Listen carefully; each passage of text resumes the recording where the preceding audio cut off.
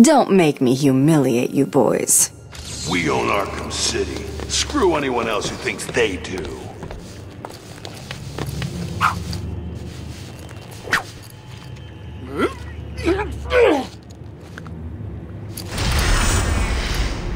Arkham City is ours. What was that?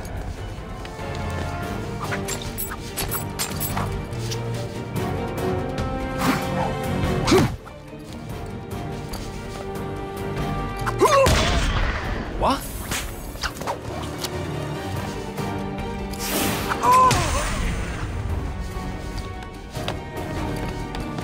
Never find her like this.